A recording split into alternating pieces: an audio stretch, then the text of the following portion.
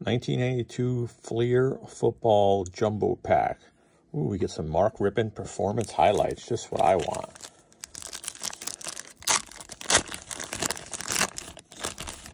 Let's see a nice fat pack of football here. Let's see what we get.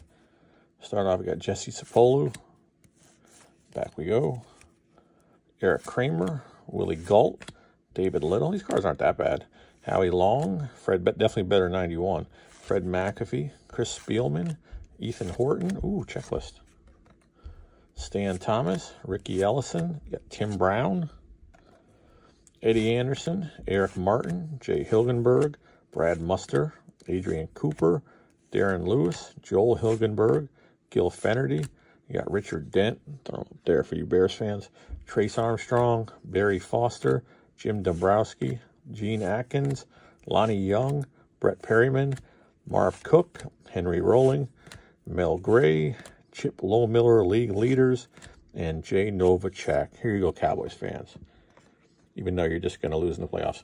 All right, talk garbage. Thanks for watching.